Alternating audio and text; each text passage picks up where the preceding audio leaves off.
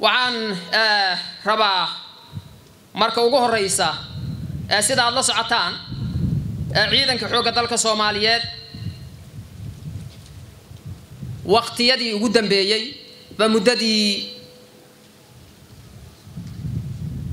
taliyihii iga horreeyey ee halkaan maanta halkaan marti noogu ah iyo aniguba aan joognay oo aan taliya xigeenkiisa ahaa waxaa soo bilowday arrintii reformka ciidanka xoogga dalka soomaaliyeed oo lagu haqeejinayay tirada ee ciidanka xoogga dalka soomaaliyeed iyo guud ahaan ciidamada qaranka iyo sugnaantooda runtii arrintaa reformku waxay taabanaysa qaybo badan. Waxay taabanaysaa nidaamka diiwaangelinta ciidanka xoogga dalka soomaaliyeed in la diiwaan geliyo xubin kasta ee ka mid ciidanka xoogga dalka soomaaliyeed. Waxaan ku bixina waqti waxaan u marnay runtii xaalad adag oo aad iyo aad miisaankeeda iyo culayskeeda u laheeday ugu dambayntiina waa laga miro dhaliyey waxay kalay xumbaarsaneeday.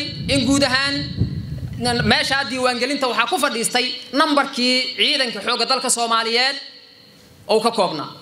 Oo runtii markii hore ku jiray tiro galabgalaba oo aan dhihi karno ma aanu ahayn system ahaan system fadhiya. Sidaasoo kale waxay xumbaarsaneeda iyadana systemkii hrmka oo ahaa xubin walba oo ciidanka xoogga dalka soomaaliyeed ka tirsano inay yeelato galfayl iyo meel macluumaadkeedu ku kooban yahay. Waxaan rabaa runtii halkan laguma soo koobi karo dhammaan waxyaabihii noo qabsoomay. Markaan ka hadlayno arrimaha la dagaalanka argagixisada waxaa halkaan maanta fadhiyaa taliyihii mas'uuliyadda igu wareejiya daahir aadan cilmi. Halkaan taliska inta uu joogay waxaan bilownay oberatinkii la dhihi jira badbaada one iyo badbaada two oo runtii asigoo dhexda maraya oo mas'uuliyadda igu wareejiyey howlgalladaas waxaad la socotaan gobolka shabeellaha hoose. Barihii ugu muhiimsanaa amba buundooyinkii ugu muhiimsanaa ayay ahayd cadowga in looga saaro. Maalinta aan bilaabayna howlgalladaas waxaan ognahay cadowgu meesha ay joogeen. Hal hal inaan u tilmaanno uma baahno.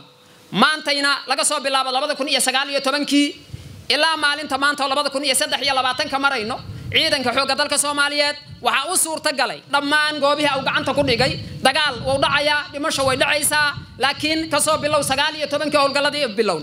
Ilaa maalinta maanta ciidanka xoogga dalka soomaaliyeed meel uu la wareegay ee mas'uuliyaddeeda uu kala muxuu ahay ii sheegay ka saaray nimanka argagixisada ee cadowga ay dib ugu soo laabteen ma jirto ee maanta cadowga gacantiisa ku jirta. Runtii ma aanay dhicin. Ciidanka xoogga dalka soomaaliyeed wuxuu xejiyey ou si buuxda u xejiyey dhammaan goobihii ay cadowga ka saareen. Taasna waxaan dhihi karaa waxay runtii ay dib noogu soo dhaweysay qaluubta shacbiga soomaaliyeed oo runtii wacyigelinta naftirkeeda qayb ka ahaa sidii shacbigeena iyo ciidankeena aan isugu soo dhaweyn lahaynay taasina waxaan dhihi karaa qayb weyn.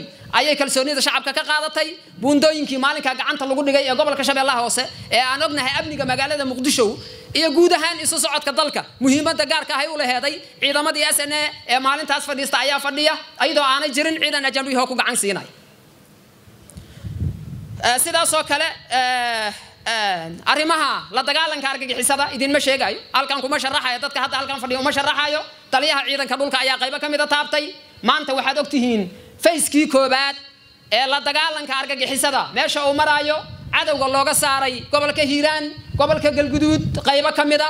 Mudug qaybihii uu cadowga uga sugnaa gobolka shabeellada dhexe.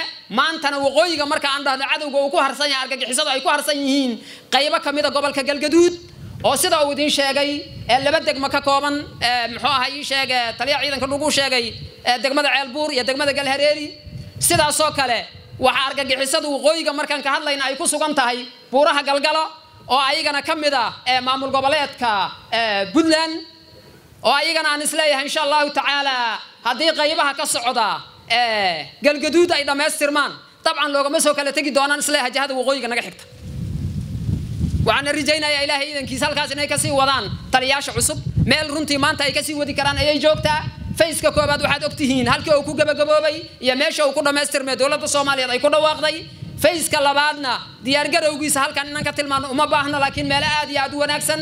Taliyaasha yimidna aan uga warbixinay ayaguna ay indheheera ku arki doonaan ayuu marooyaa